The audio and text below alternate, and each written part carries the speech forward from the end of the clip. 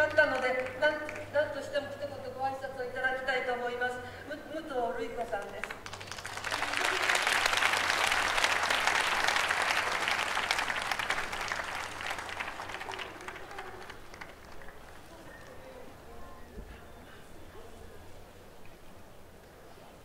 皆さんこんにちは。あの今日は客席で、えっと、今日登壇される方々のお話も、えっと、あの一人一人のお話を聞きながらですねあの本当に福島の事故は終わっていないんだということをまた感じました。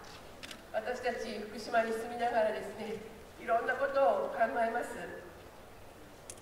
これからどうなっていくんだろう。子どもたちはどうなっていくんだろう。そしてこの国はどうなっていくんだろう。そういうことを考えますとっても絶望的な思いになる朝もあります。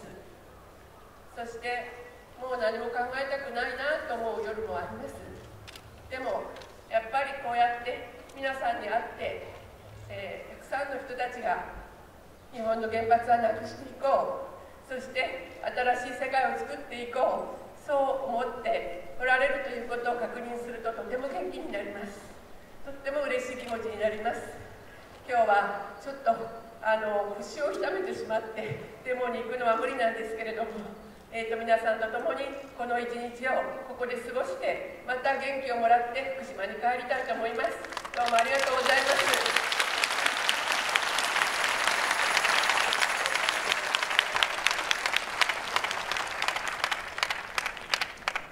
突然お呼びしてスピーチをしていただきました武藤瑠衣子さんでした。